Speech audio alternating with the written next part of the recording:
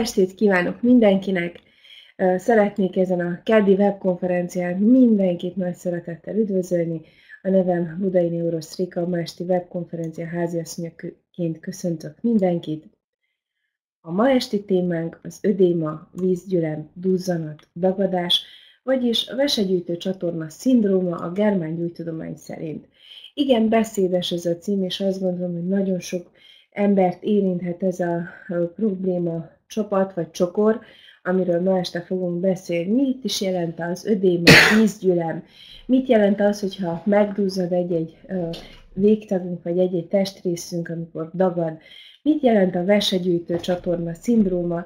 Egyáltalán mit kell tudni a germán gyűjtudományról? Kifedezte fel, hol hasznosítható, és milyen szerepet tölthet be az életünkben, akár egészségesek vagyunk, akár pedig a betegségeinkkel küzdünk. Mindenről, és még nagyon sok minden érdekes információról fog szólni ez a ma esti webkonferencia. Fogadják nagy szeretettel a ma esti előadónkat, dr. Budai László Károlyt, aki orvos, természetgyógyász, germángyógytudomány terapeuta, és talán nem árulok el nagy titkot azzal sem, hogy nem csak orvos és természetgyógyász, hanem életmód tanácsadó, úgyhogy remélem, hogy pár hasznos tanácsot is kapunk arra, hogy hogyan vezessük az életünket úgy, hogy ne legyen ilyen probléma az életünkben jelen.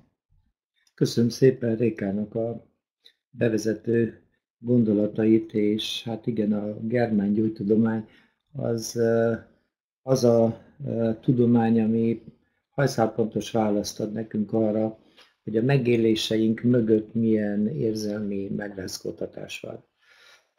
és hát ugye az ödémák azok a különböző helyzetekben nagyon gyakran előfordulnak, és úgy gondoltam, hogy talán összefoglalom őket mert Hammer doktor is leírta, hogy a vesegyűjtő csatorna szindróma ismerete fontosabb, mint a szívinfarktus ismerete.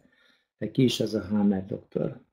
Dr. Rike Gert Hammer az a fantasztikus um, kolléga volt, aki leírta azt az öt biológiai természettörvényt, aminek alapján most már tudományos alapot kapunk arra, hogy megértsük, a szervezetünk nagyon egyszerű és logikus működését. Ámer doktor egy kutató orvos volt, aki nem csak medicinát, hanem teológiát és fizikát is tanult, és felfedezését annak a szerencsétlenségnek, tragédiának köszönhette, hogy 19 éves fia a karjai közt halt meg. Rá két hónap a Hámer doktornak heredaganata lett, és elgondolkodott azon, hogy a fia elvesztése és az ő heredaganata között kell legyen valamilyen kapcsolat. Ezt kutatta a betegeinél, majd felfedezte a rák vastörvényét, amint kiderült, aztán ez volt, ez lett az első biológiai természettörvény, ezt 1981-ben tette közzé Hammer doktor, éppen így november elején és a rák vastörvénye tartalmazza a DHS kritériumait. A DHS azt jelenti, hogy Dirk-Hammer szindróma. A fiáról nevezte el azokat az ismérveket, amelyek szükségesek ahhoz, hogy egy lelki megrázkodtatás bennünk az agy közvetítésével egy szervi választ adhasson. De nem minden lelki megrázkodtatás okoz ilyet, hanem mindig is csak azok, amelyek váratlanul meglepetésszerűen érkeznek, nagyon súlyos és érzelmi konfliktust tartalmaznak, és magányosan éljük meg, valamint benne ragadunk a konfliktusban. Mindig fog minket érni mindenféle érzelmi megrázkódtatás, váratlanul meglepetésszerűen, de hogy meddig ragadunk benne a konfliktusban, és mennyire magányosan éljük ezt meg, ez csak is kizárólag tőlünk függ. Vagyis ha betartjuk azt a régi e, intést, hogy nem újjék el nap a te haragoddal, akkor gyakorlatilag meg se tudnánk betegedni. Itt jegyezném meg, hogy a világon a világ legidősebb orvosa 106 éves, és még mindig dolgozik, mert ő azt vallja, hogy a tegnapi nap már nem létezik. Tehát ő minden napját lezár békével, és azzal foglalkozik, hogy mi a teendője a pillanatban. Ha ezt mi is így tennénk, akkor mi is egészségesen élhetnénk még 106 éves korunkban is. Tehát arról volt szó, hogy a lelki megrázkódtatás az agy közvetítésével fog mindig elindítani egy szervi elváltozást. Nos, ez a dolog azt jelenti, hogy a szervi elváltozásból viszont vissza tudunk következtetni arra, hogy lelki szinten mit éltünk meg. És ezt tartalmazza a tudományos táblázat, amit Hammer doktor szerkesztett, német precizitással, és távirati stílusban, terminus technikusszal, vagyis orvosoknak szóló könyvről beszélek. Ez nem csak arról szól, hogy milyen lelki megrázkódtatás, milyen szervi elváltozást okoz, hanem arról is, hogy hol van az agyban az a relé, ahova ez az érzelmi becsapódás megtörtént, és hogy hogyan zajlik le konfliktus aktív és megoldási szakaszban ez az egész biológiai válasz, amit Hammer doktor értelmes biológiai különprogramnak nevezett, az EBK ennek a rövidítése. Egy nagyon lényeges dolog, hogy a konfliktus pillanatában rögzülnek a sinek, vagyis rögzülnek azok a körülmények, amelyek között mi azt a nagyon súlyos, váratlan érzelmi konfliktust megéltük. Na most, ameddig nem oldjuk fel érzelmileg ezt a konfliktust, addig a sinek gondoskodni fognak arról, hogy krónikus betegek legyünk, ugyanis a sinek mindig az adott helyzetre, a konfliktus körülményeire fognak utalni, vagyis megkönnyítik számunkra azt, hogy a konfliktust megtaláljuk, és érzelmileg megoldjuk. Minden egyes esetben mi határozza meg, hogy miként fogjuk megélni ezt a, a konfliktust? Tehát a váratlan események, azok, amint mondtad, bárhol, bárkinél jelen lehetnek, de honnan tudjuk, hogy az a konfliktus, vagy az az esemény úgy hat? Hát onnan fogjuk csak tudni, ha megkérdezzük a beteget, hiszen mindenki számára az egyetlen valóság a saját megélése. És ezt nem győzöm hangsúlyozni, és pontosan ebből következik az is, hogy a betegség a beteg nélkül nem gyógyítható. Vannak, mondjam úgy, hogy standard körülmények, amelyek bizonyos hát értelmes biológiai programok elindítására utalhatnak, de az, hogy valójában mi történt, hogy valójában mit élt meg a beteg, azt mindig csak ő tudja elmondani. És hát itt van Hammer doktor példája, hogy egy olyan történetben, amikor a hölgy hazamegy, és férjét egy másik nővel az ágyban találja, hogy ebből mi lesz számára biológiai válaszként, az csak is az ő megélésétől függ, vagyis a szexuális frusztráció az ményak programot indít, az önleértékelés az ágyéki gerincoszlop, medencecsont, szemérem, ízület, szimfizis lebontást, visszaépítést fog elindítani, annak függvényében, hogy mit jött meg az illető, a félelem undor konfliktus a cukor háztartásra fog kihatni, a birtok kijelölési konfliktussal pedig újakorutot fog önmagának elindítani, és ha nincs konfliktus, nincs betegség, vagyis ha nem szereti a férjét, akkor nem lesz biológiai válasz. Tehát ennyire e, fontos az, hogy a beteg e, meghatározza, hogy mi volt az a váratlan esemény, és azt ő hogyan élte meg. Tehát ez teljesen személyfüggő, hiába tudom valakinek a történetét, azzal nem tudom beazonosítani, hogy milyen konfliktust élt meg, hiszen az ő megélése az, ami, ami ebben a pillanatban eldönti, hogy melyiket az eddig felsoroltak közül, vagy talán egy olyan, vagy talán nem még többet, igen, igen ez, pontos, de ez pontosan így van, és nagyon jó, hogy rávilágítsz, mert sokan írnak levelet mások nevében, és elvárják, hogy ha leírják, hogy a hogy mi történt, akkor vagy a gyereknek milyen tünetei vannak, akkor ők ezt meg fogják oldani. Igen, erre, Én is erre, kaptam a pár ilyen levelet, azért. Te is kaptál egy pár ilyen levelet, tehát értsük meg, hogy a mindenki számára, a gyerek számára is az egyetlen megélés az, amit ő megél, és nincsen külön gyerek germángyógytudomány, meg felnőtt germángyógytudomány, a biológiai törvények egyetemesen vonatkoznak gyerekekre, felnőttekre, növényekre, állatokra egyaránt. Szóval a második biológiai természettörvényben Hammer doktor leírja, mint azt már az előbb is utaltam rá, hogy minden folyamat két szakaszban zajlik le, van egy konfliktus aktív és egy megoldási szakasz, természetesen, ha végigfut a program. Mert ha nem fut végig a program, hanem elakad, abból krónikus betegségek lesznek, amint azt már említettem. Az első függőleges vonalon a DHS, tehát az első biológiai törvény, törvényre vonatkozik, hiszen hogyha megtörtént a váratlan esemény életünkben, ami felkészületlenül ért minket, úgy maradtunk, mint a fogorvosnál tátott szájjal, és kötni nyelni nem tudtunk e valakinek a megjegyzésére, vagy valamilyen körülöttünk történt eseményre, nos, akkor már is kapunk erre egy biológiai választ. A konfliktus aktív szakasz alatt a biológiánk biológiai szinten próbál segíteni nekünk abban, hogy ezt a lelki élményt, idézőjelben az élményt azért feldolgozzuk. Ne feledjük, hogy ezek a konfliktusok mögött mindig félelem uh, uralkodik, mindig egy félelem indítja el ezeket a programokat. Nos, az, az is kérdés, hány ilyen programot indítunk el, mert annyival színesebb lesz aztán a klinikai kép. Az tény és való, hogy minden biológiai különprogramnak a konfliktus aktív szakaszában emelkedni fog a vérnyomásunk, szaporább lesz a pulzusunk, a légzésünk, hideg lesz a kezünk és a lábunk, nem fogunk tudni nyugodtan aludni, és nem lesz étvágyunk enni. Ezek általános tünetek nyilván, hogy programonként más és más megéléseink is lesznek ez alatt a konfliktus aktív szakasz alatt, de ne feledjük, hogy minél több ilyen programot indítunk, annál magasabb lesz például a vérnyomásunk.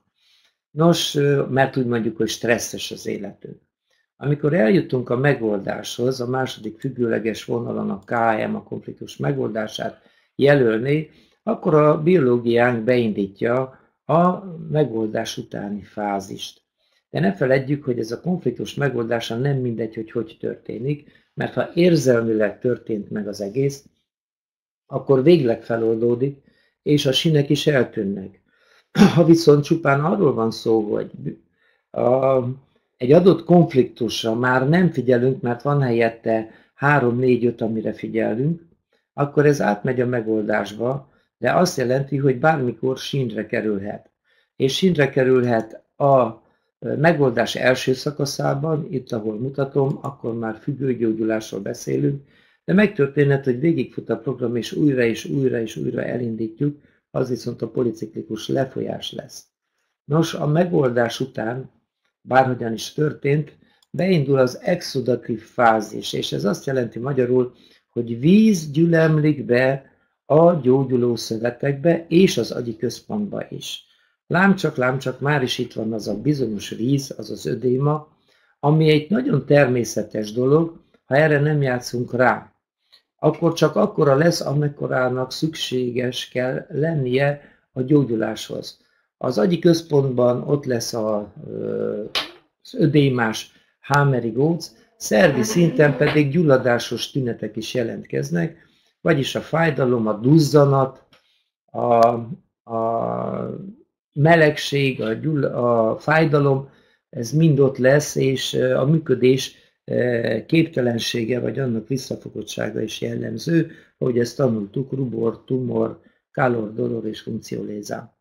Nos, amikor ez az egész betegségként megélt időszak már lezajlott, akkor következik az epileptoid krízis, ami megint hideg fázis, hiszen látjuk, hogy kék színnel van jelölve. Itt az, az a jellemző, hogy a tüneteink hát fokozott mértékben erősebben fognak megjelenni, és az agyi központ rendbetételét szolgálja ez az epileptoid krízis, hiszen az agyi ödéma megszűnik, kinyomódik a víz az agyi központból, kinyomódik szervi szinten is, és természetesen ezért több vizeletünk lesz, mint amennyi folyadékot megittunk. A legkritikusabb történések itt vannak, itt van vesegörcs, epegörcs, epilepsziás görcs roham, ugye ha izmokat érintő programról van szó, és a DHS egy e, mozdulattal menekülési képtelenségről szóló történet volt, és izomrángások és egyebek. Aztán jön a hegesedési fázis, ami megint meleg fázis, piros szín erre utal, megint nagyon fáradtak leszünk, ahogy Hámer doktor mondja, extrém fáradtság jelenik meg. És hogyha ezt nem akasztanánk el, ha itt nem élnénk meg magányosságot, akkor itt nem alakulnának ki ciszták a szervezetünkben, nem alakulnának ki hatalmas hólyagok, és ugyanakkor szépen kifutna a program a végére. De ott kezdődne a történet, ahogy elmondtam, már is a DHS pillanatába, még aznap zárjuk le a programjainkat, nem újjék el nap a te haragoddal. A ö, tudományos alapját a germán gyógytudománynak pontosan az adja meg, hogy Hammer doktor egészen az embriológiáig ment vissza a kutatásban, ahhoz, hogy megértsük, hogy hogyan fejlődött ki az ember, és megértsük, hogy az adott szervekben, szövetekben miért az a program fut, ami fut. Itt láthatjuk tehát a csiralemezek és agy közötti összefüggést, hiszen baloldalt látjuk a három csiralemezt sárga, narancs és piros színekkel jelölve, a kép jobb oldalán pedig láthatjuk az agyi központokat, az agytörzset, a kisagyat, fölötte a fehér állományt, és a legfelső képen pedig az agykérget ábrázolva Hammer doktor színeivel, sárga, narancs és piros színekkel. Nos, erről a képről minden medicinát végzett kollégának eszébe jut, amit embriológiából tanult, hogy minden szervünk, szövetünk a három csiralemezből alakul ki, és utána lehet nézni, mert ez pontosan így van leírva az embriológiában is, hogy a belső csiralemezből olyan szöveteink, olyan szerveink alakulnak ki, amelyek a falat konfliktust fogják megoldani számunkra. Persze természetes, ezt nekünk nem így tanították.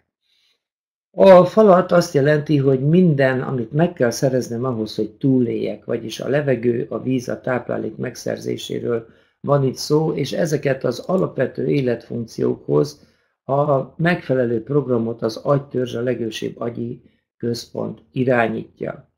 Tehát levegő, víz, táplálék, illetve még ide tartozik a fény és a hangfalat is.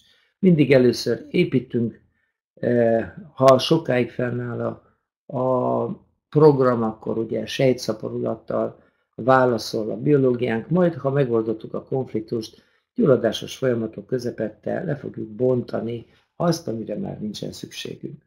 A középső csiralemez sejtjeit két idegi központ is irányítja, az egyik a kisagy, a másik, ami fölötte van, ugye az a fehér állománynak nevezett agyi rész, az már a nagy agyhoz tartozik.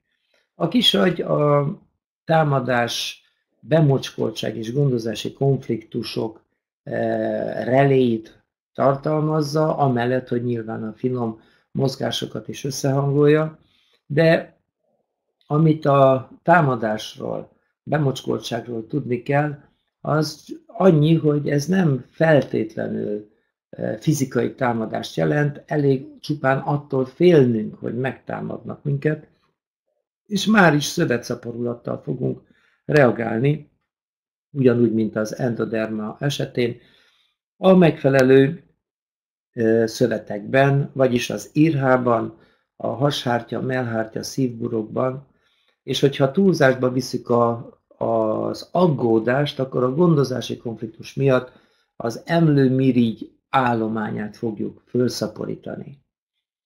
Az önleértékelés az önpusztítást jelent, és minden kisebb rendűségű érzéssel kapcsolatos hát, konfliktusunk a fehérállomány relébe fog becsapódni. Innen tehát az ide tartozó szövetekben először a sejtszintű sorvadás indul be, majd a program végére erősebb és jobb szövet alakul ki, hiszen ez a biológiai értelme ennek a programnak, hogyha valami nem jó számunkra, akkor ahelyett jobbat építsünk.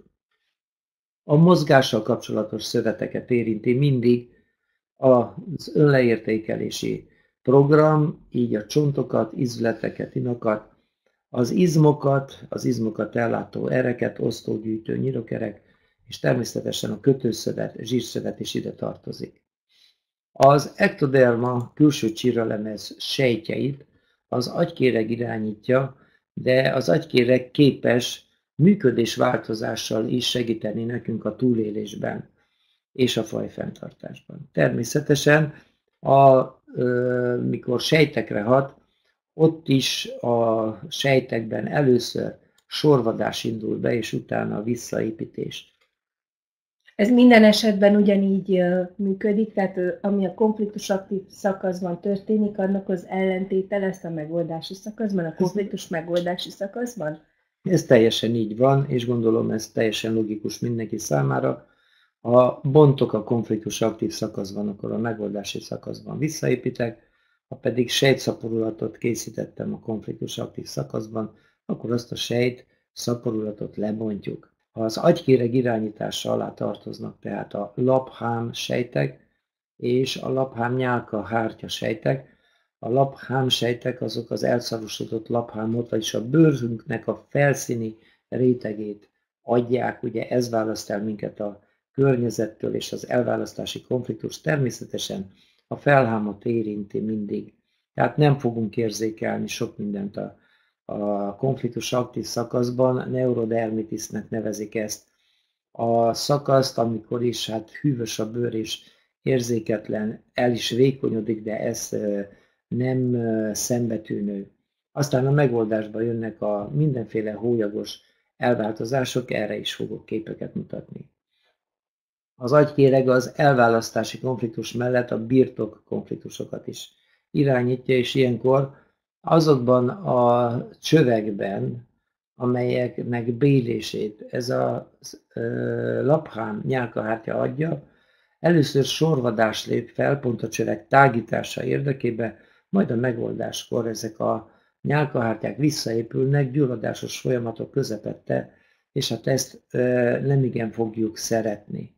És mint mondtam, a ö, működésváltozások is ide tartoznak, valamint az érzékszervek információi is az agykérekbe érkeznek, de innen indulnak az akaratlagos mozgást indító parancsok is a mozgatóközpontból. A harmadik biológiai természettörvény, tehát összefoglalva, a konfliktus aktív szakaszban, ha sejtet építettünk feleslegbe, akkor azt lebontjuk a megoldási szakaszban, mert nem tartunk el egyetlen sejtet sem feleslegesen.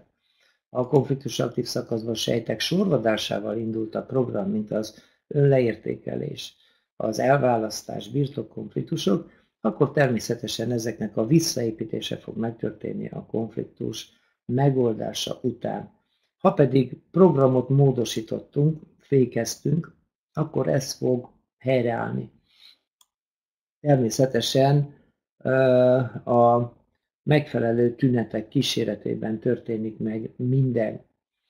Hiszen ha összefoglalhatnánk azt is, hogy ha a sejtekből vagyok felépítve, amelyek működnek, akkor csak a sejtek szaporításával, sorvasztásával, vagy a működés változásával fogok tudni tenni valamit a túlélésünk érdekében. Miről szól a negyedik természettörvény? Az első, tehát ha jól értettem, az első elmondja, hogy minden betegségnek egy konkrét oka van. Igen. A, az a konfliktus, ami drámai, hirtelen ránk tör, váratlan, súlyos következményekkel járt, tehát konfliktust hordoz, és benne ragadtunk ebben az állapotban. A második természettörvény leírja azt, hogy minden úgynevezett betegség, amit Hammer doktor nem is alkalmaz, hanem értelmes biológiai külön programnak nevezi. Ez két fázisban zajlik le. Igen. A harmadik rámutat az embriológiai eredetre, és gyakorlatilag azt tudjuk meg belőle, hogy ami a konfliktus aktív szakaszban történt, annak az ellentéte következik be a konfliktus megoldási szakasz, Igen. jól mondtam? Jól mondtad, tehát három csiralemez, harmadik törvény, három csiralemez. Mi, miről szól a negyedik, negyedik... természettörvény? Talán nincs itt valami bűvös négyes szám. Hát, mondhatnám, hogy igen, itt is van, mert ugye a csiralemezekhez kötötten segítenek minket a bennünk élő mikroorganizmusok, a gombák, a baktériumok és a vírusok.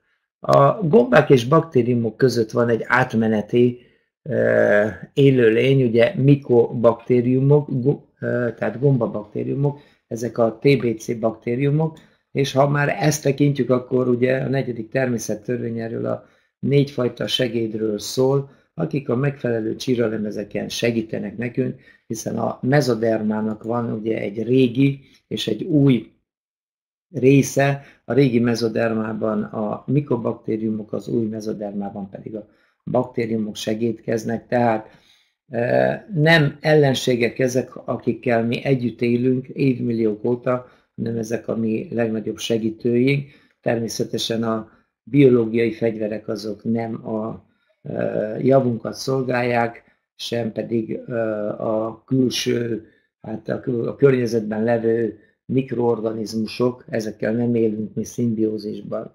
Itt jegyezném meg, hogy a mérgezések, a balesetek, a hiánybetegségek nem tartoznak a germán gyógytudomány tárgykörébe.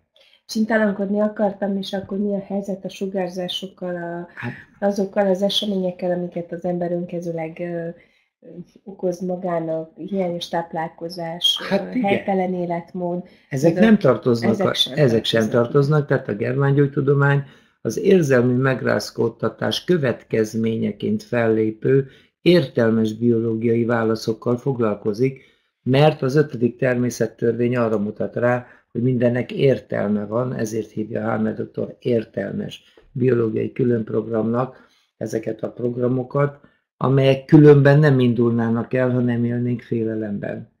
Ha valaki békében él önmagával és a világgal, a külön programok különben nem indulnak el, de ott van mindenkiben, hiszen a túlélésünket és a faj fenntartását biztosítja minden, ami bennünk történik, tehát innentől már nem beszélhetünk semmilyen rosszindulatú uh, megbetegedésről, vagy ismeretlen, vagy gyógyíthatatlan betegségről. Amióta a germán gyógytudományt ismerem és alkalmazom a terápiában, azóta ilyenekről nem, nem lett tudomásom, hisz minden betegnek a, a betegsége mögötti okok felfedezhetők és megoldhatók, természetesen, ha ő is hajlandó ezeket a dolgokat megoldani, mert azért ne feledjük, hogy vannak betegek, akik szeretnek betegek lenni, szeretik, ha a figyelem központjában maradnak, szeretik, ha kiszolgálják őket, és eszük ágában nincs az, hogy meggyógyuljanak, mert számukra ez az állapot igen kényelmes és előnyös. Ez az áldozat szerep a pokoli szerepek között, aztán minden beteg talál magának egy-két-három megmentőt, aki egy idő után rájön, hogy az áldozat áldozatává vált, és ha már nem akar segíteni neki, akkor kinevezi az áldozat őt bűnbaknak, hogy te vagy az oka annak, hogy én nem gyógyulok. Tehát ezek a pokoli szerepek e, igencsak bent tartanak minket a félelem zónájába, és amíg ezeket nem ismerjük fel, és nem lépünk ki belőlük, addig nem lesz könnyű magáról a gyógyításról beszélni. Nos, a Vesegyűjtő csatorna szindrómáról természetesen, hogy a veséről szóló webkonferenciában részletesen kitértünk, és szeretném ismét felidézni, hogy miről is volt ott szó.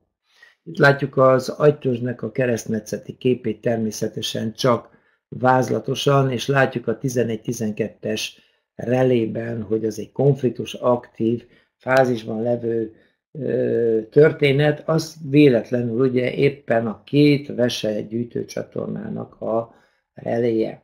Na most azt tudnunk kell, hogy a vesegyűjtő csatorna arra való, hogy ezen keresztül a kiválasztott elsődleges vizelet visszaszívódik, és itt dől el, hogy mennyi vizelet jut ki a végleges vizeletbe, hiszen naponta 160-180 liter vizeletet termel a vesénk, és ebből csak másfél litert fogunk ugye kiüríteni. Viszont, ha ebbe a csatornába, mi konfliktus aktív szakaszban sejteket szaporítunk, akkor igencsak kevés lesz a kiürített vizelet mennyisége, és a korképet vese elégtelenségnek fogják nevezni, amikor már csak másfél deci vizeletet ürítünk. Mit kell ehhez tennünk, hogy ennyire leállítsuk a vesénként? Hát itt van a baloldali táblázatban, hogy a víz tárolása, vagyis a, a szervekben akkor fog kialakulni, hogyha megéljük a létkonfliktust. Tehát a létezésünkkel kapcsolatos konfliktust, amikor azt éljük meg, hogy a létezésünkhöz szükséges alapfeltételek nincsenek biztosítva, mondjuk elvitte a bankaházunkat.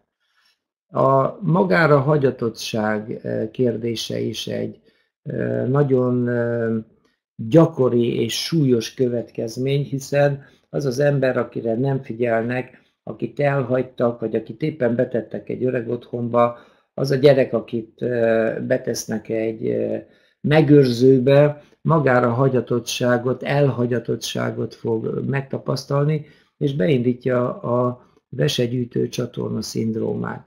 A meg nem értettség is egy magányossághoz vezet, egy elkülönültséghez, egy el, mint hogy mondjam. De teljes kirekesztettség Kire, állapot. Igen, kirekesztettség. Érthető a menekültségi állapot, amikor Így van. A, szinte jön, hogy elmeneküljek, mert annyira nem értenek meg, annyira nem igen. tartozik hozzám senki, annyira nem tudok közös nevezőre jutni a környezetemmel, annyira teljesen egyedül vagyok, mutatjuk is, mint a kisúlyom, de úgy látszik, hogy a mesegyűjtő csatornát kellene itt, itt mutogatni, mutogatni hogy, hogy annyira ezt nem tudjuk, vagyok. nem tudjuk előkapni, és a kórház konfliktus is ezt jelenti, hiszen a beutalt beteg a hatalmas magányosságot és félelmet fog megélni.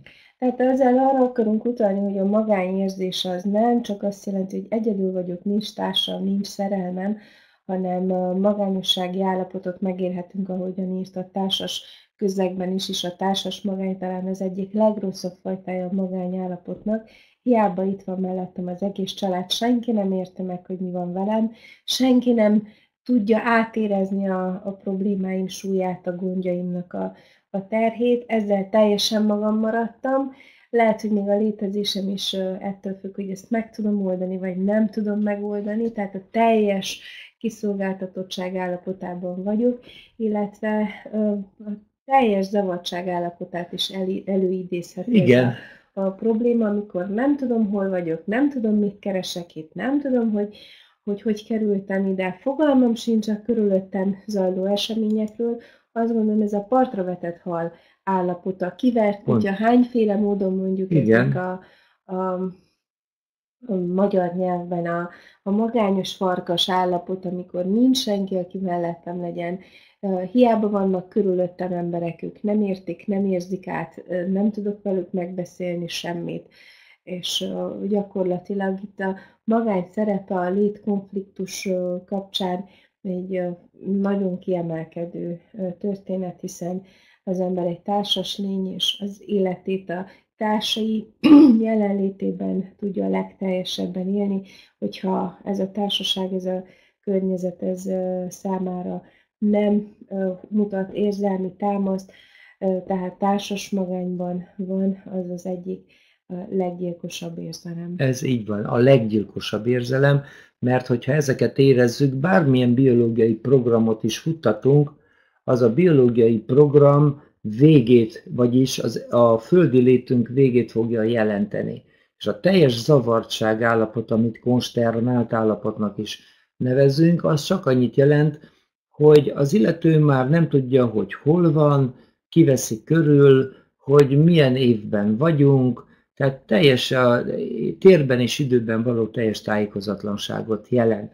Na most itt azért vannak fokozatok, nem azt jelenti, hogy minden esetben eljutunk eddig a súlyos zavart állapotig, mert hiszen a két vesének azért van három-három vesekelje, és ezek külön-külön tudnak lezáródni. Tehát az érzésnek a okozatossága és erőssége azt is eldönti, hogy milyen, mennyi, milyen mértékben fogjuk begyűjteni a vizet a szervezetünkbe. Azért itt uh, jegyezzük meg azt is, hogy a, a kórházakban például nagyon el tudunk magányosodni.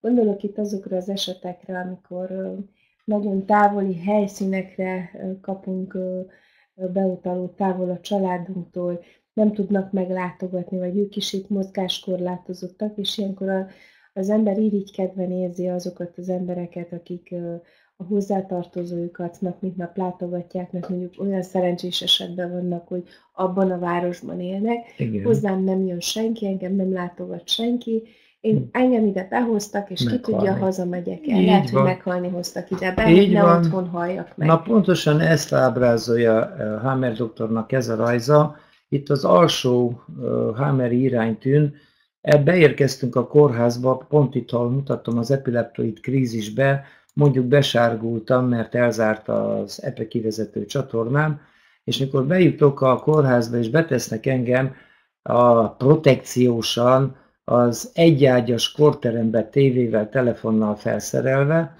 akkor érem meg az igazi magányosságot, és a vesegyűjtő csatorna elzáródása miatt leáll a vesénk, és vége a történetnek.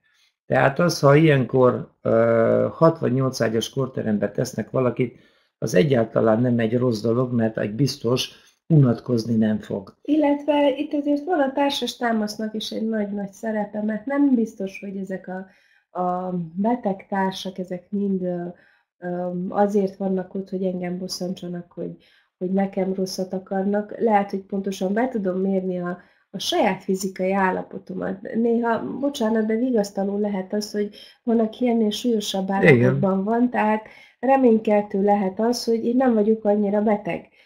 Tehát már ez egy pozitív visszajelzés is lehetne, ha így tudnánk erre tekinteni, illetve lehet, hogy olyan barátságok is szövődhetnek ilyen helyen, tehát nagyon sokszor a, a 6-8 ágyas kortermeket olyan mumusként tekintjük, mint hogyha ez lenne a világ egyik legszörnyűbb dolga, de talán ott van benne az a, az a pozitív hozadék, hogy mindig van mellettem valaki, van kihez szólnom. Lehet, hogy vannak nálam jobb állapotban lévő betegek, akiktől akár bármilyen szívességet is tudok kérni. Igen, de hát... Ki tudnak kísérni a, a WC-be, ha mondjuk nekem ez Így van, ha valami van, akkor van, ki Tudnak hívja szólni nővér. a nővérnek, vagy, vagy lehet, hogy, hogy rosszabb állapotban van, mint én, és Igen. azért megerősítést kap, hogy én, én, én még sokkal nagyobb gyógyulási esélyekkel rendelkezem itt, mint a többi. Igen, tehát rengeteg előnye van annak. Nézzük meg ennek a Igen. jó oldalát is. Igen, jó oldala is van, és természetesen nagyon rossz oldal, ha valaki éppen frekvenciát vált a szomszéd szomszédos ágyon, az lesújtó élménye lehet annak, aki nincs tisztában azzal, amivel őseink tisztában voltak, hogy a halál nem a teljes megsemmisülést jelenti, csupán a fénybe való visszajutásunknak a lehetősége, ezért őseink nem fekete ruhát öltöttek, amikor gyászoltak, hanem fehérbe öltöztek, de hát ezeket a dolgokat nem ártana újra elővenni és ezekkel is foglalkozni, hogy helyén tudjuk kezelni a frekvenciaváltásnak a tényét. Nos, a víz nem csak szervi szinten gyűl be, hanem agyi szinten is, és itt láthatjuk, micsoda fantasztikus ödéma alakult ki, két megoldásban lévő Hammeri góc körül, ez a felső a rémületfélelem, a másik pedig a szexuális konfliktusnak a a hámeri góca ödémásodva. Nos, ez, ez a helyzet akkor alakult ki, amikor a hölgy átment a, klimaxbo, a klimaxon, és ugye tudjuk, hogy a hormonális változással a gyerekkori konfliktusok kerülnek megoldásra, került megoldásba itt is, csak hogy a nagy fejfájás miatt megcsinált koponya CT rögtön agyi daganatot diagnosztizált, holott csak szindrómáról van szó, a magányosság, az elhagyatottság miatt lett ekkora ez az ödéma. Gyakorlatilag az, amit mi az előbbi képen láttunk, az a Hameri Góca annak a programnak, ami? Igen, igen. Azt gondolom, hogy az eddigiek során gyakorlatilag szinte bármilyen programhoz társulhat a, a vízgyülem. Így van, ez teljesen így igaz, és talán el kellene mondani most az egész tudományos táblázatot, ami nem fér bele, azért egyezünk meg egy webkonferenciába, de néhány jellemző és nagyon fontos dolgot szeretnék kiemelni csíralemezenként. Mi az, ami nehezíti a gyógyulásunkat, és ami fokozza a szenvedésünket. Ugye a mandulagyulladás vagy nyelőcső alsó harmadának fokozott duzzanata az megnehezíti a nyelést, és ehhez csak az fent említett érzelmi dolgokat kell hozzátegyük, a, amikről szó volt, a meg nem értettséget, és a többit. A májnak a megnagyobbodása is csak akkor jön létre, amikor a máj szövet vizet gyűjt be. És ugye ilyenkor a tapintással a májnak éles szélét tapintjuk, és jóval a jobb ordaív alatt két-három-négy únyira fogjuk tapintani a betegvizsgálat során a májat. A gyomorbérrendszer, tudjuk, ez egy csőrendszer, nyilván ha a csőnek a, vas, a fala megvastagodik, akkor az emésztést és a felszívódást is fogja ez gátolni, abszolút, de nem segít a helyzetünkön. A bármilyen hasi szervben van valamilyen gyógyulási folyamat, és hozzátesszük a magányosságot, a meg nem értettséget, egzisztenciális félelmeket, akkor fellép a hasvízkor, amit aszcitesznek nevezünk, de ne feledjük, hogy szintén az endoderma, vagyis belső csiralemezből származó szervünk, a prostata és a mély nyálkahártya is, most ezeknek a duzzanata is fokozott tüneteket fog számunkra okozni, ugye még nagyobb lesz a prostata duzzanata, mint lenne anélkül, és még vastagabb lesz az a mély nyálkahártya, ezáltal még nehezebben fog leválni. Tehát a mellőzöttség, a meg nem értettség itt is gyilkos érzés.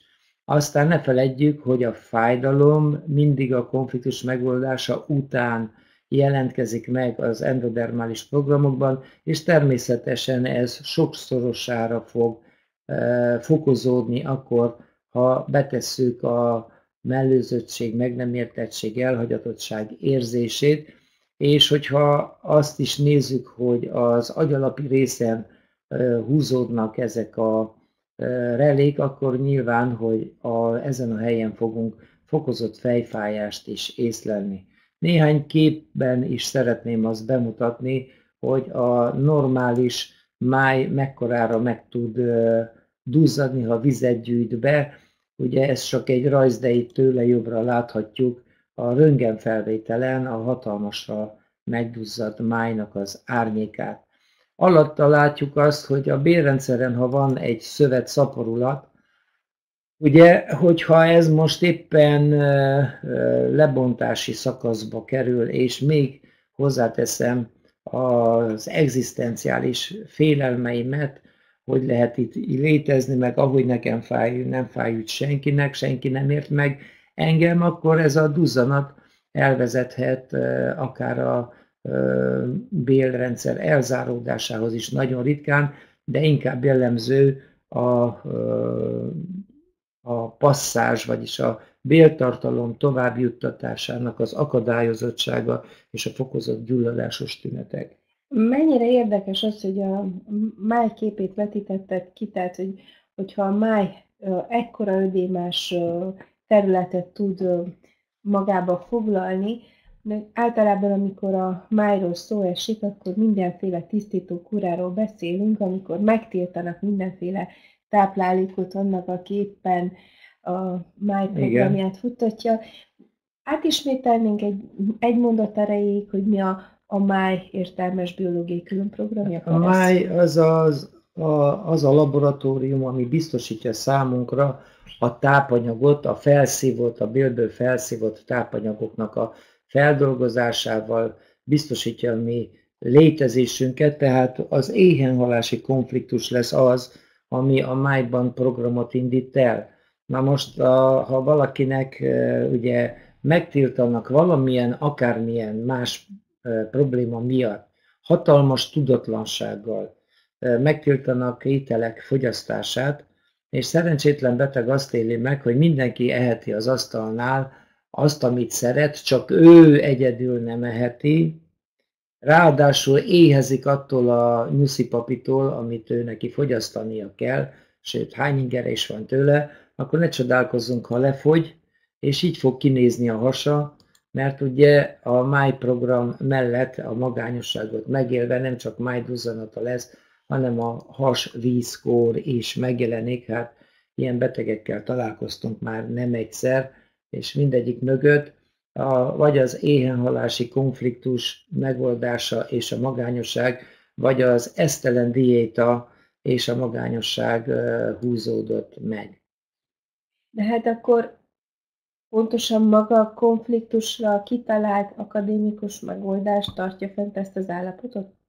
Hát kérdés, hogy mennyire akadémikus az a, az a diéta, amit kitalálnak. Én találkoztam olyan beteggel, aki nagyokos orvos természetgyógyásznál járt, és mindent megtiltott neki, a, a, amit szeretett enni a beteg, és csak olyan dolgokat tehetett, ami számára kellemetlen volt, és ez volt az egyetlen beteg eddig, aki éhen halt, mert már olyan súlyos, visszafordíthatatlan állapotba került hozzánk, hogy hiába vacsorázott velünk egy jó ízűt, már nem tudta a biológiája helyreállítani mindazt, amit addig az addigi éhezés végberít benne.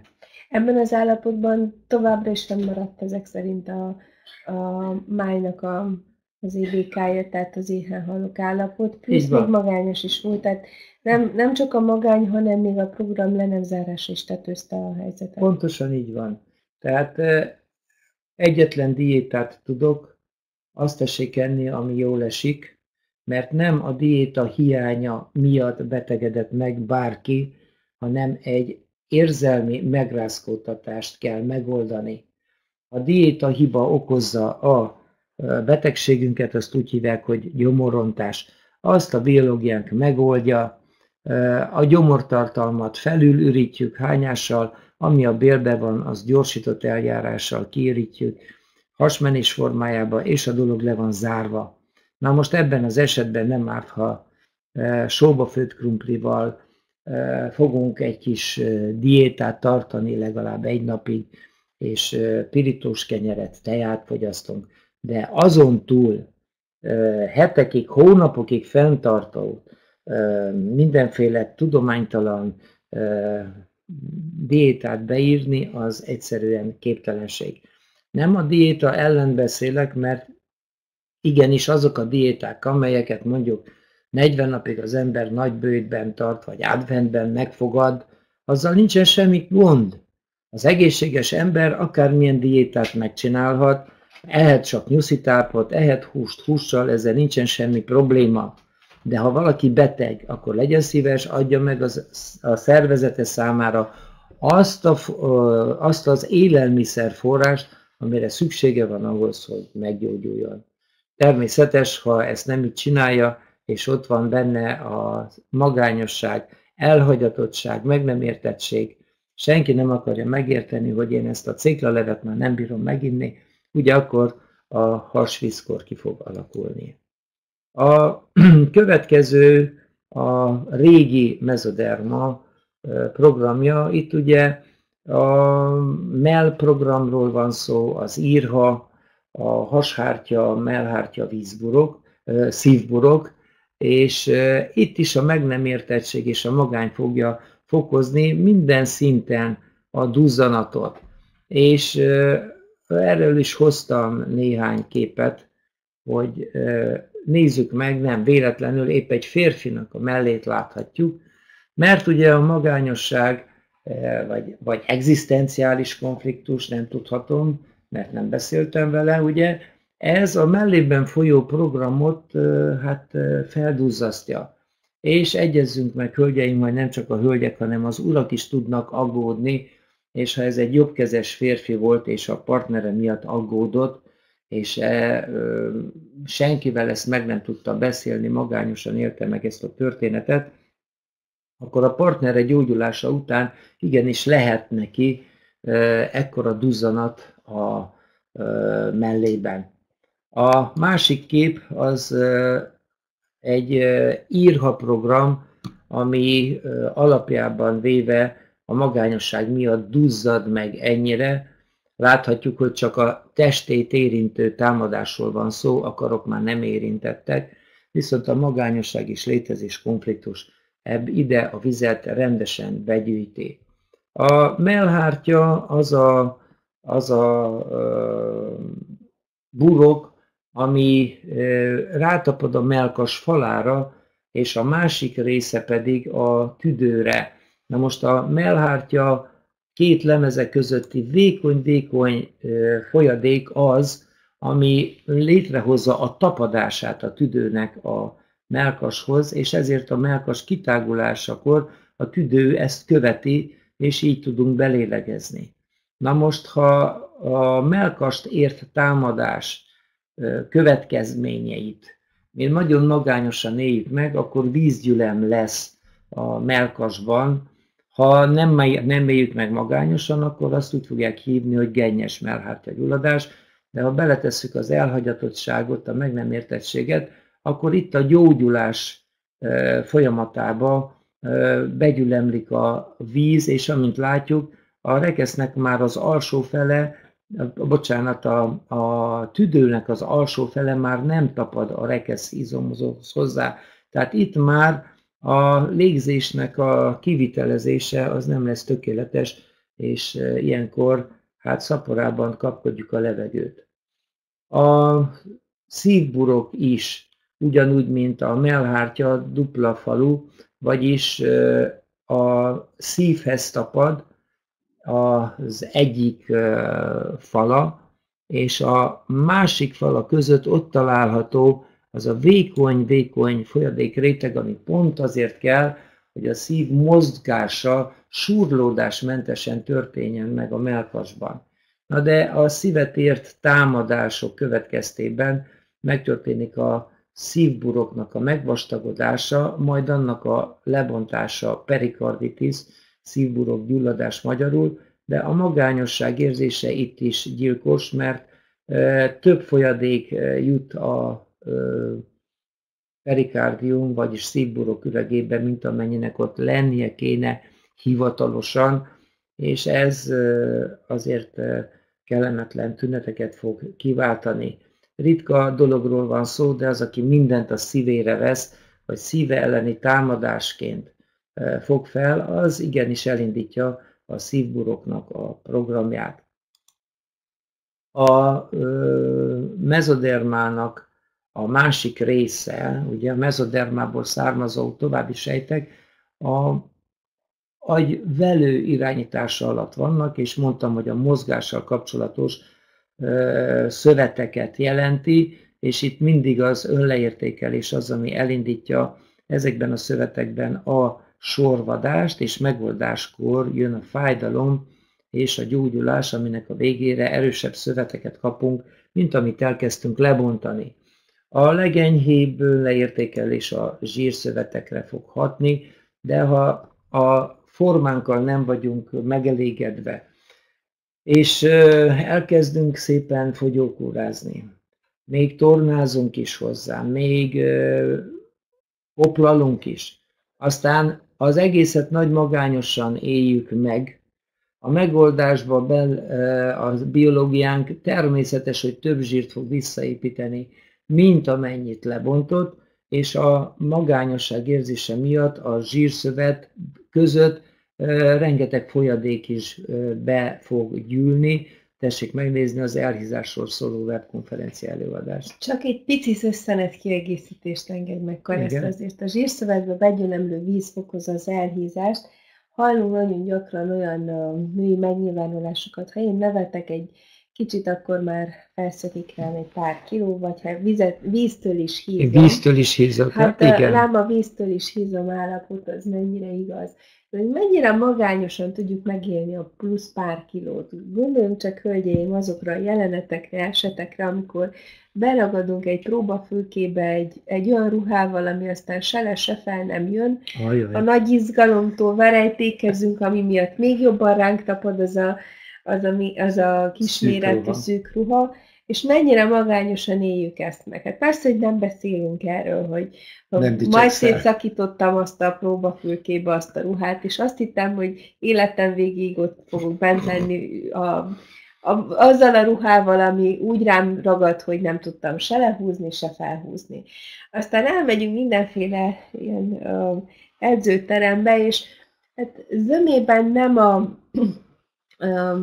elhízott vagy, vagy túlsúlyos emberek járnak oda legalábbis, ahányszor én mentem, nem voltak túlsúlyosak. túlsúlyosak. Ott valahogy a sors is úgy akarta, hogy a, a nagyon kisportolt, nagyon vékony, mm. nagyon szákás testalkatú hölgyek voltak, ráadásul mindegyik ilyen teremben vannak tükrök, tehát az ember Ajaj. minden oldalról meg tudja csodálni magát, már ha ez kellemes élményt jelent bárkinek is és akkor ott is jön a nagy magány, mert mindenki jobban bírja ezt a torna gyakorlatot, mint én, és alig kapok levetőt ebben az állapotban, Igen. de szeretném tartani a ritmust, de ne legyek én a, a legrosszabb, a legrustább, a, a legkövérebb, mm. és ugye azért az ember ilyenkor nagy magányában uh, rengeteg olyan dolgot tud uh, megélni egy ilyen helyen, amit nem biztos, hogy azonnal elmesél, vagy közhírét teszi mondjuk a Facebookon, hogy majd kiköptem a tüdőmet egy ilyen gyakorlatban. Ez azért tovább fokozza az ember magányossági élményét, és azt hiszem, hogy azon túl, hogy van egy önleértékelési konfliktusa, itt a, a magány fantasztikus társ ahhoz, hogy a plusz kilók feljöjjenek, ugye a mérlegnek teljesen mindegy, hogy ez víz vagy a zsír, zsír így, így is, úgy is kilenged a, a mérleg nyelve. Mennyire magányosan tudjuk ezt megélni, Főleg akkor, amikor elkezdünk fogyókúrázni, rögtön egy finom vacsora meghívást kapunk, legalábbis én. Az én életemben ez elég gyakran előfordult, ugye amikor eldöntöttem, hogy na, akkor most nincs vacsora, akkor rögtön valami vacsora meghívás, esküvői meghívó, valami mindig érkezett, és ha, ha tartja az ember ilyenkor a, a fogadalmát, és ezt vagy azt uh, csökkentett mennyiségben eszik, és látja, hogy a, a másik ott ropogtatja előtte azt, amit ő, ő most nem ehet. Hát Jaj. ez micsoda, ha nem magányosság élménye. Hát igen. Hát igen, hát nagyon jól rávilágítottál a hétköznapi magányocskáknak a hátterére, és ezek tényleg összeadódnak, és fenntartják ezt a, ezt a kellemetlen állapotot. Remélem, hogy nem volt kellemetlen ezeket a történeteket a nőtársaimnak felfedezni magukban, de tényleg jó lenne, hogyha ezeket a helyzeteket úgy tudnánk kezelni, hogy ne az első élményünk a magányosság legyen, hanem, hanem gondolkodjunk el azon, hogy miért is alakul ez így. Hát igen. Keressünk hasonlóan duci barátnőt, akivel el tudom hmm. menni kocogni például. Például, és, és akkor, és még akkor ebben, nem lesz Ebben már nem élem meg magányosan a, Pontosan a programomat. Van. Meg hát tudnunk kellene a germán gyógytudományból azt, hogy mindennek értelme van, és a kövérségnek pontosan az az értelme, hogy a biológiában a dundi a szép, nem De pedig a deszka, mondom a dundi a szép, és úgy tetszel nekem, ahogy vagy. Szóval ennyi az egésznek a lényege, és mert a túlélést, a fajfenntartást a plusz energia tárolása biztosítja, nem pedig a deszkavékony testalkat. Na, ugye a zsírok mellett itt vannak az izmok, ugye? Hát itt van uh, szívizomzat, haráncsikort izomzatról szó. Nyilvánvaló, hogy az izmokról szóló webkonferencián elmondtam, hogy a, a gyógyulási szakaszban az izmoknál, a harácsikolt izmoknál is ödéma alakul ki, meg az agyi relében is ödéma alakul ki. Ez fokozza az erőtlenséget, fokozza a fejfáját és, fejfájást, és nyilván e, csökkenti, gátolja a mozdulat beindítását, ami újabb önleértékelést, magányosságot, és a szödéma további bentragadását fogja okozni, tehát ne essünk bele ebbe a tévedésbe. A szívizomzat ugye a túlhajszolás következtében fog sorvadásnak indulni, mármint a haráncsikót rostok belőle. ami el tud jutni egészen a szívelégtelenségig, de amikor a megoldási szakaszban leszünk, mert már nem bírunk dolgozni, és akkor tényleg lepihenünk, akkor itt is jön az ödéma, ami fokozza a szívelégtelenség tüneteit, és talán pont azért jó, mert akkor nem fogunk rögtön, amikor egy kicsit jobban vagyunk, nekiugrani, befejezni, ami elmaradt, hanem megvárjuk, míg a biológiánk helyre teszi önmagát. Nos, az izületek fokozat duzzanata, fájdalma szerintem ez már ugye szemmel láthatóbb és gyakoribb tünet, legyen szó bármelyik izületről, és akkor végigmondhatnánk ugye a csontrendszernek összes izületének a, a konfliktus tartalmát. A lényeg az, hogy a magányosság és létkonfliktus legyen az, amit ide nem szükséges, csak egy történetet tudok elmondani. Egy budapesti képzésre visszajött az azelőtti képzésről egy fiatalember, aki különben mérnök vagy valamilyen, tehát reál szakos mesterségben dolgozott, és azért jött el a tanfolyamra, mert sok izleti gyulladása volt. Nos, elmesélte, hogy egy út során kikerült Olaszországba, egyedül kellett mennie, és megélte a magányosságot, ugye, fel is duzzadt úgy a térde, hogy a nadrágját alig tudta felhúzni, de eszébe jutott, hogy valamit tanult a tanfolyamon, és alkalmazta, és csak azért jött vissza, hogy elmondja az ott ülő, ott ülő hallgatóknak, hogy jó lesz odafigyelni arra, amit itt hallanak, mert ez valóban megoldást jelent.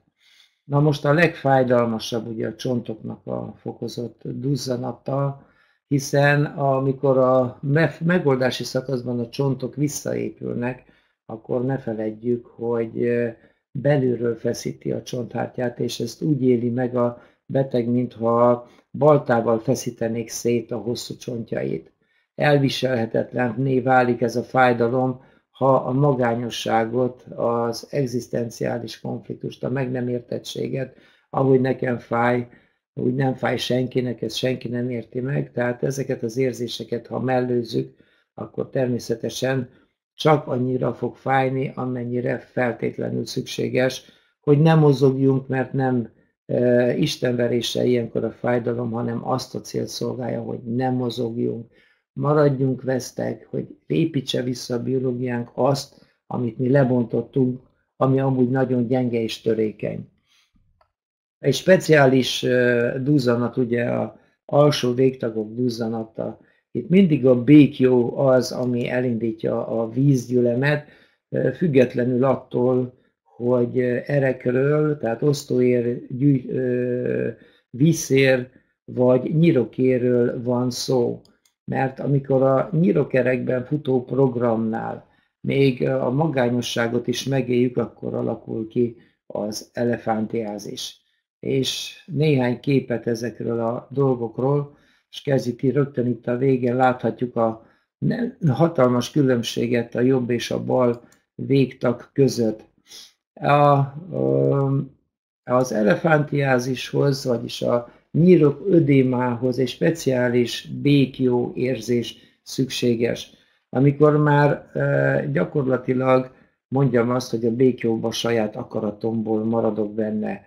Mert nem arról van szó, hogy függök valakitől, és képtelen vagyok elmenni, elmenekülni, tovább lépni, ez a visszereket érinti. Nem arról van szó, hogy nem engedik, hogy elmenjek, és ez az artériákat érinti, hanem arról van szó, hogy már mehetnék, de mégsem teszem. És ilyenkor kialakul a nyirok ödéma. Nos, hát el kell gondolkodni azon, hogy milyen szinten oldjuk meg ezt a nyiroködémát. Mert az igazi érzelmi megoldás a békjó konfliktus feleslegessé tétele lenne, vagyis megint a pokoli szerepből való kimászás és ez megint az áldozat szerep. Ne feledjük, hogy a nyirok csomók is képesek felduzzadni, abban az esetben, ugye, amikor mondjuk egy mandula duzzanatot szövetszaporulatot lebontunk, akkor a nyaki nyirokcsomók lesznek hát megduzzadva, és a, azt a, az elszigetelődést, hogy enni nem tudok, mert a számat alig tudom kinyitni, nyelni nem tudok, bármit nem tudok megenni, ez az érzés fokozza a vízgyülemet nem csak a mandulákban, hanem a környéki nyirokcsomókban is, és ez szemmel látható lesz, mint ahogy ezt a hétvégén sikerült nekünk is látnunk egy hallgató nyakán. Nos, hát itt van a típusos vízgyülem, ugye, ami be, megtartja az új benyomatot. Tehát megnyomjuk, és mikor elveszük, a tészta tapintatú lábfejen ott marad az újunk benyomata.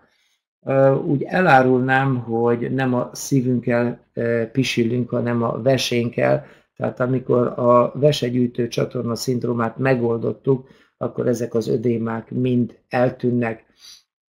Ugyanígy fog eltűnni a kezünkről is. Milyen érdekes, hogy csak a jobb kéz van megduzzadva, a bal pedig nincsen.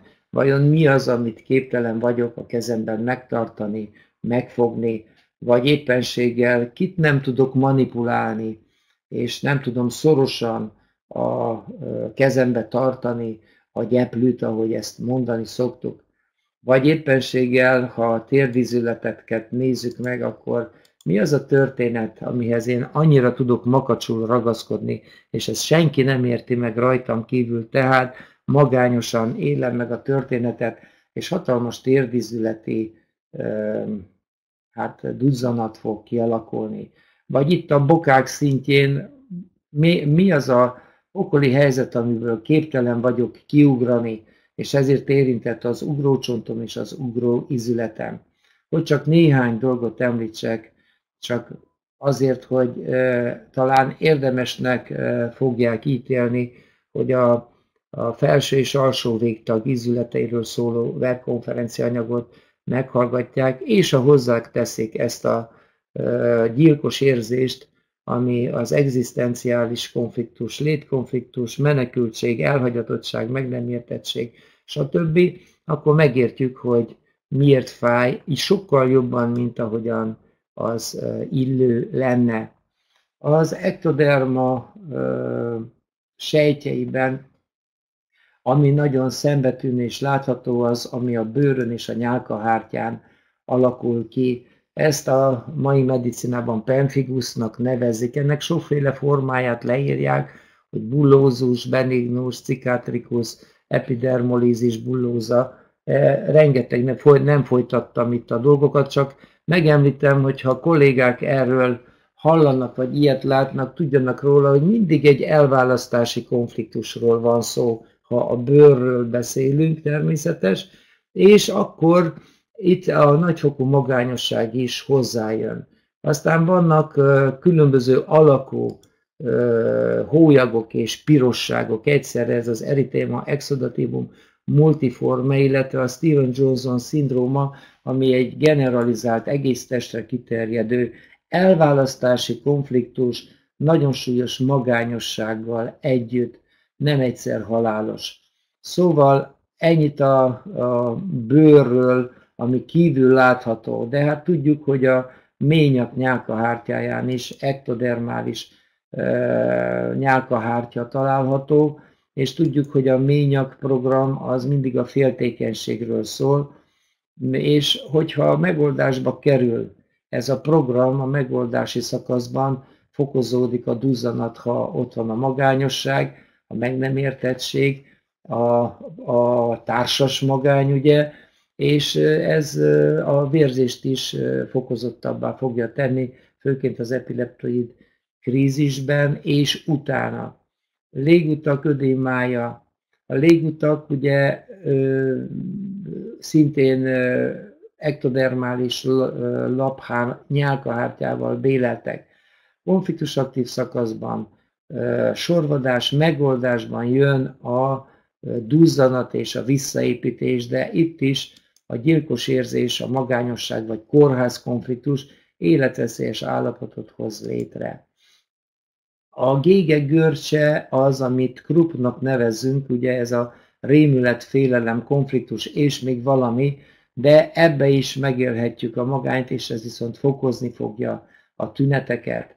Az EPE kivezető rendszert is ektodermális laphám borítja, és ugyanígy a megoldási szakaszban alakul ki a gyógyulási ödéma, de hogyha ezt a magányosság meg nem értettség is kíséri, akkor természetesen még fokozottabb lesz, és az EPE kivezető rendszer elzárt állapota is tovább fog fennmaradni.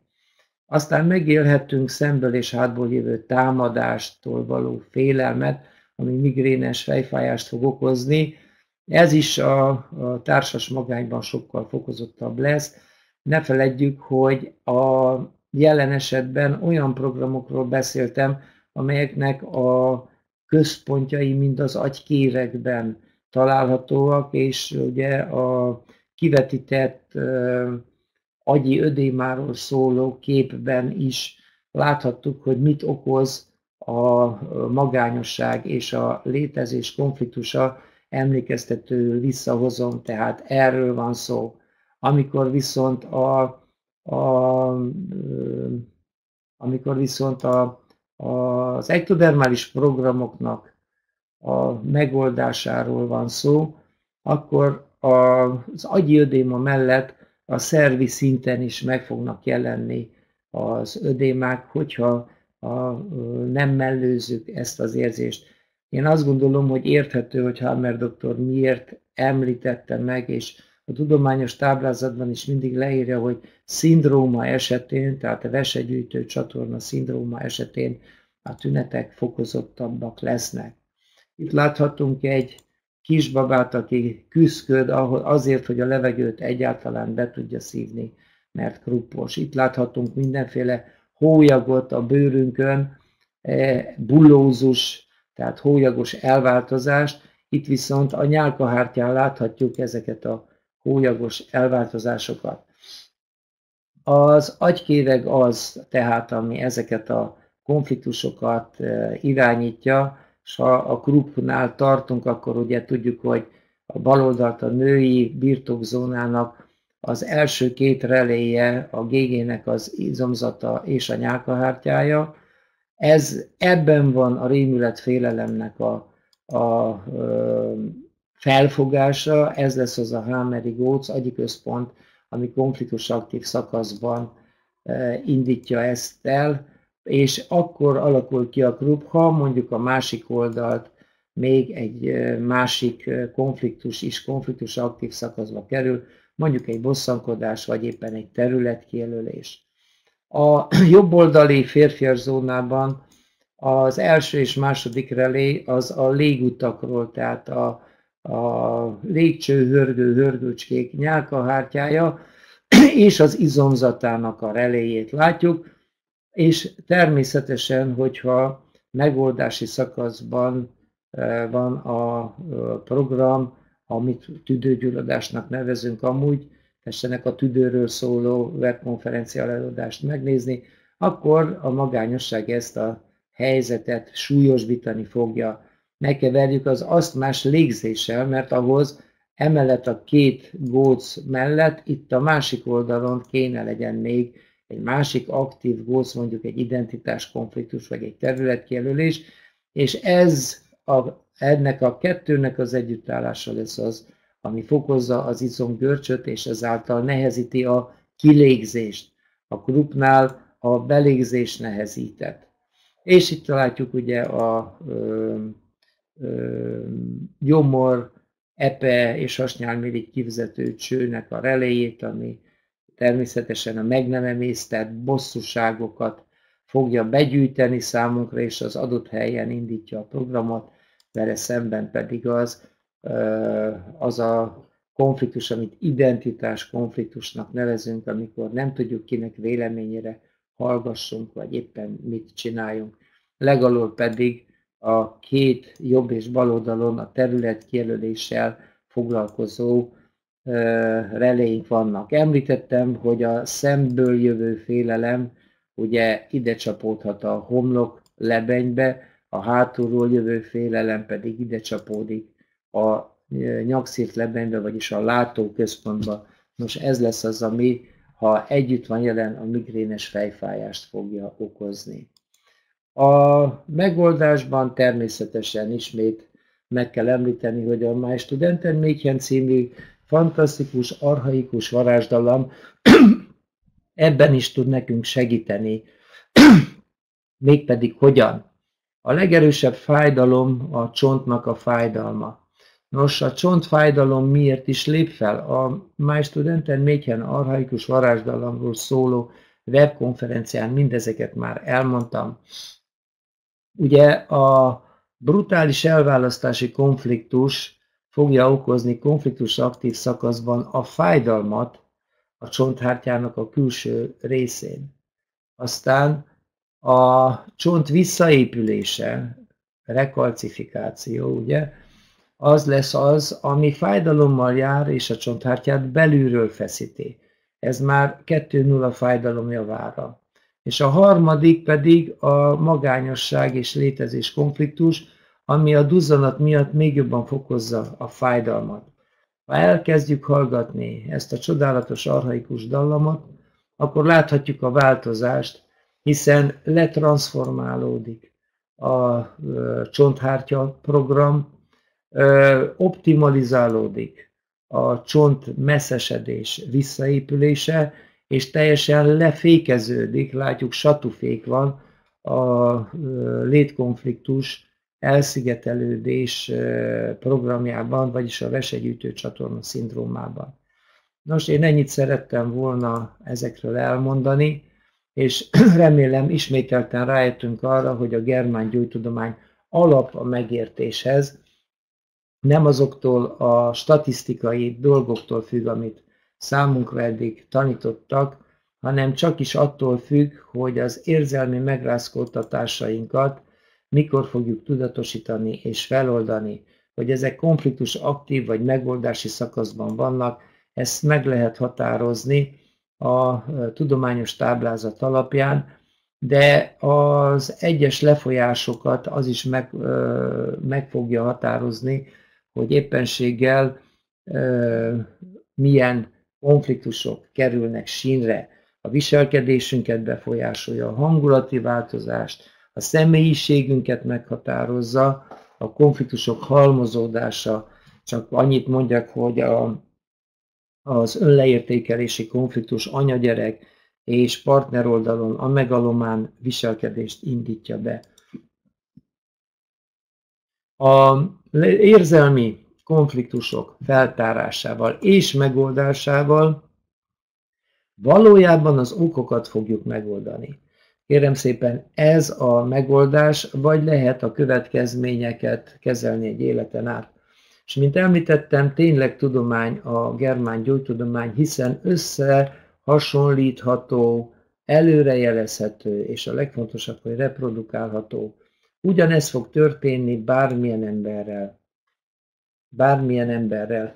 A programok, a túlélő programok a DNS-ben ugyanígy vannak meg, és ezért nincsen olyan, hogy egyeseknél ez lesz, másoknál az, és nem statisztikai feldolgozásra van szükségek, meg állatkísérletekre, hanem az öt természettörvénynek az ismeretére, ami egyszerű, logikus, mindenki által megérthető.